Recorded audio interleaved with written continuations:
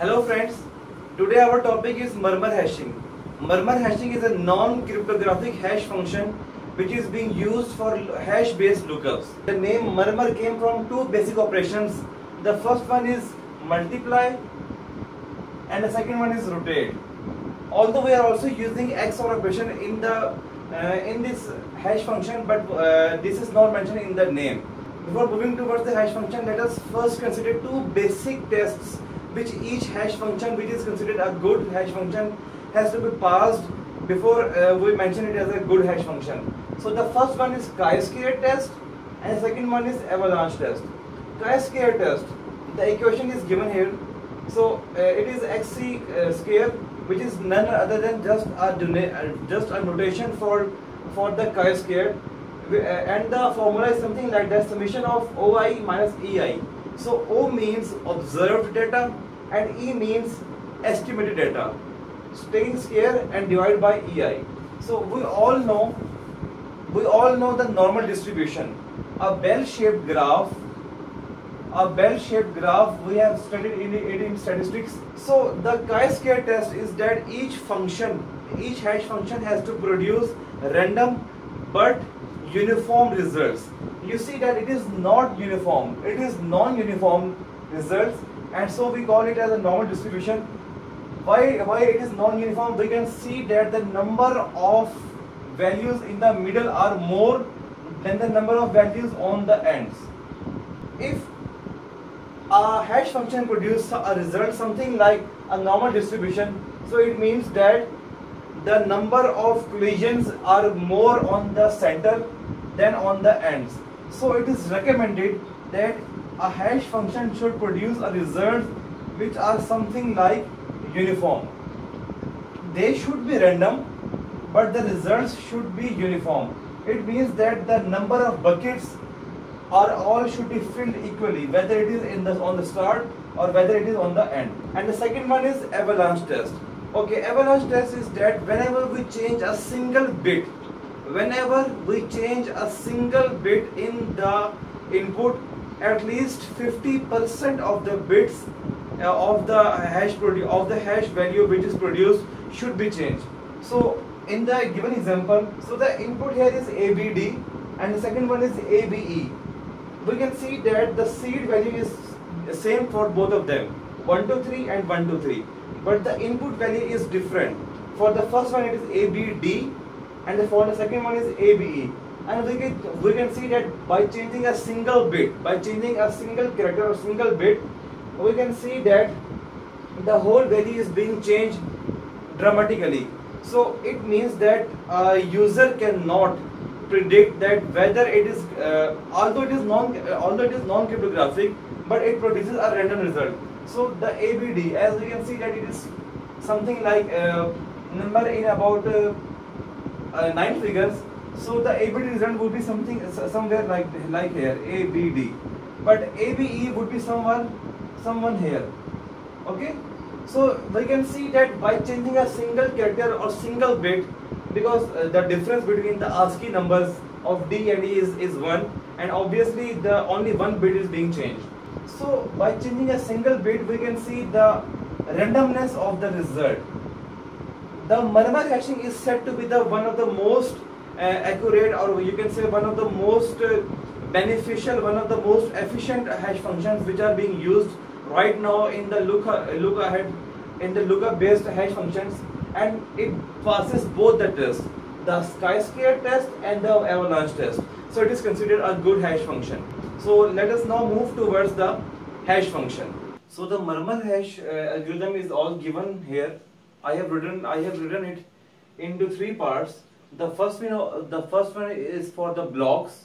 The second one is for the remaining bytes, and the third one it will be applied. These steps will be applied on all the bytes of the original value which we will be in, for which we will be generating the hash value okay so as you can see in the first part I have written it that for each 32 bit block we know that on 32 bit machines one word constitutes of 4 bytes and we know that 1 byte is equal to 8 bits so total of 32 bits so let's say that I am going to take, uh, so let's say that I am taking an example of A, B, C, D, E. Okay, and we know that uh, the ASCII value of A is the ASCII value of A is 97, the ASCII value of B is 98, C uh, for C it is 99, for D it is 100, and for E it is 101. Let me write uh, write it down into hexadecimal notation. So for hexadecimal it is uh, OX61, it is OX62, it is OX63, and it is OX64, and one and for 1018 is OX65. So you can see that uh, it, it says that for each 32 bit block as you as you can see that there are total 5 bytes but one word is equal to 4 bytes so it means that this one a b c d constitutes of one word and it is the remaining byte so uh, this remaining byte will be handled in second part but for the first part let us just take this uh, these four bytes which consisted of four uh, which consisted of one word. So for putting it in the in this way like a b c d what we have to do is that we have to shift the a up to 24 bits. Because as you can see it is the first byte of the word. So it, you can say it is the most significant bit and it is the least significant bit. So for changing a to most significant bit what we will do is just we will shift the A towards uh, left by 24 bits. So the value of A will become so for A it will become OX61 0 0 0 and uh, 0 0 0 yeah. So for A it will become 61 and after that uh, 6 zeros. Because we have shifted it 24 bits here to, towards the left. And for B it will become 0x00 62 0000 because for B we have to shift left by by 16 bits. 8 bit and 8 bit okay? So for shifting it towards the left by 16 bit so B will become something like that. Similarly, for the case of C, it will become 0x 0 0 0 0 63 0 0 and for D it will become 0x 0 0 0 0 0 0 64 bit. You can see that D uh, here and here these are they, they both are same. Okay? So here it was 0x64 and here it is also 0x64 I have just uh, mentioned uh, 6 bytes. I have just mentioned 6 zeros on the left side for the uh, explanation purpose. After that when we will add all these numbers so the my number will become my total block will become 0x 61 62 63 and 64 so this is my uh, four uh, four byte block on which I am going to apply these uh, on which I am going to apply these uh, functions. These operations. So as you can see that, that on the very first line it says that 32 bit, 32 bit block is equal to k. So we, we are taking a constant k okay and we are assigning this value to k. After that we will just multiply it with constant 1 rotate left by k, uh, rotate left k by 15 okay as you can see that i have uh, that in murmur hashing we are actually multiplying the numbers with different constants. So c1 is assigned has assigned this number. For c2 the number this, number is, is assigned. There is another value variable n for which this variable is, uh, uh, is assigned. And in the similar uh, manner you can see that for the final avalanche there are multiple constants which we are taking to, uh, for multiple for multi purposes. Here we are taking XOR operation. Sorry. Here we are taking here we are multiplying it. And here we are also multiplying it.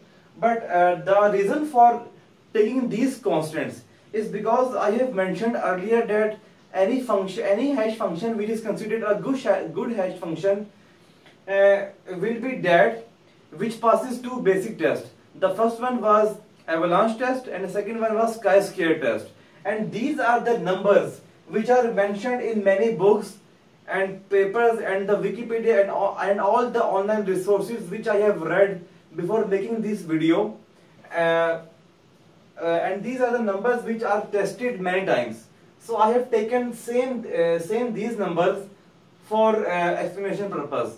But if you find any other number which is uh, mm, you can say more uh, more good than these numbers then you can use them. Okay. So for the 30 for the 32 bit block or you can say uh, for the one word these tests are going to be applied on them. As i told earlier that in murmur hashing there are basically two main operations which are uh, implemented. The first one is multiply and second one is rotate. And i also mentioned that there is one and there is another uh, one operation which is not mentioned in the name but actually we use it. And that was XOR operation. So as you can see that multiply by k, uh, k multiply by c1, then k, uh, rotate uh, k by 15, rotate left actually. Okay, then multiply uh, k by c2 and then after taking uh, XOR and all these four operations are being applied on the second part. So these are the basic steps uh, which are going to be used in murmur hashing. As you can see that we are also using another operation rotate left. So what rotate left actually means let me just take this example 1 0 1 uh, 1 0 and I have to rotate left it by 1. So what I will do is just I will rotate all these numbers and the most significant bit will become the least significant bit. So after rotating it left by 1 it will become 0 1 0 1 because this bit will be shifted here and all of them will be shifted left by 1 so this is the operation for rotate left and the other one is multiply by c2 the constant uh, which is given uh, in the algorithm is mentioned here and the second one is after that we are going to XOR k with the hash. So what hash is? Hash is the seed. And uh, murmur hash actually takes two values.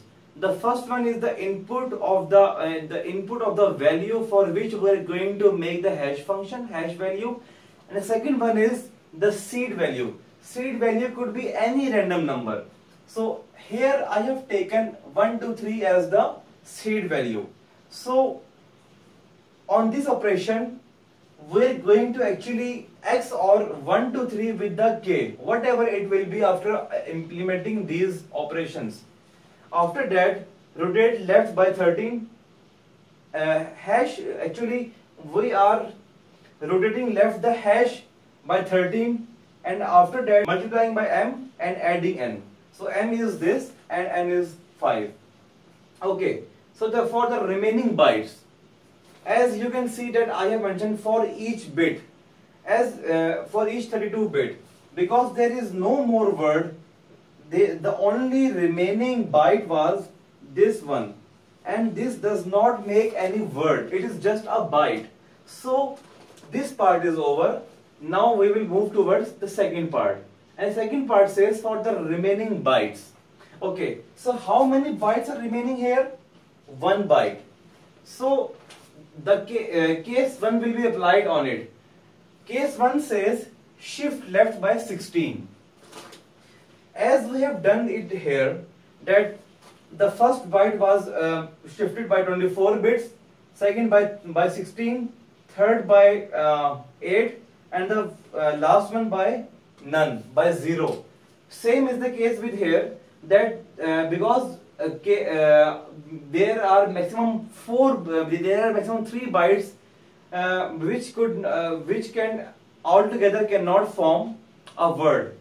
So for case 1, we are going to shift it left by 16 For case 2, we are going to shift it left by 8 and for case 3, no shift.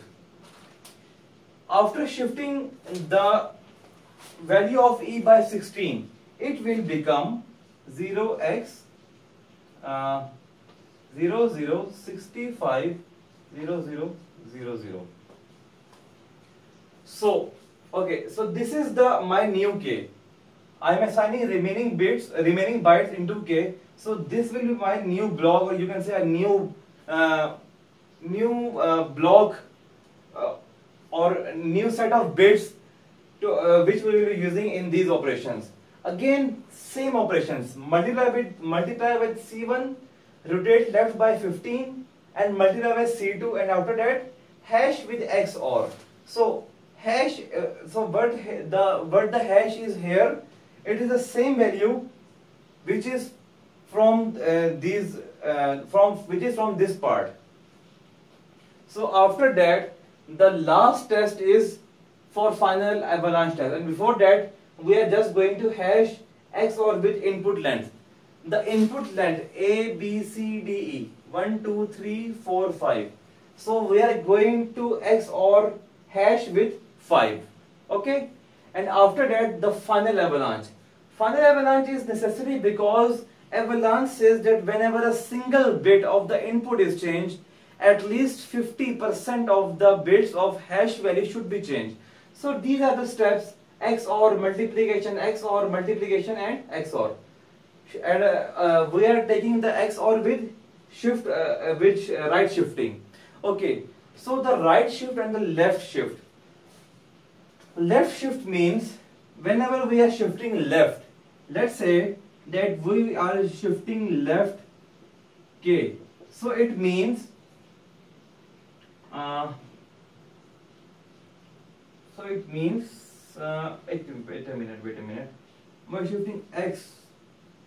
x is the value and k is the number of bits towards we are shifting, which we are shifting. So it will be equal to x multiplied by 2 to power k. And for right shifting, let's say that x is the value and k is the number uh, which we are shifting. So it will be equal to x divided by 2 to power k and its floor function. I think that I have to highlight this part. These are two, two operations. Shift left, shift left means that we are actually multiplying it with the power of uh, uh, with the power of 2 and the power of 2 will be equal to k. And shift right means that we are actually dividing the value with the power of 2 and the power of 2 will be equal to k and then and then just take the uh, floor uh, function of of uh, whole the of the whole value so that it can become an integer. Okay so these are the final steps which are going to be applied on all the values. And uh, so in this way a hash function or uh, sorry in this way a murmur hashing works. Okay. So uh, this was it. Thank you for listening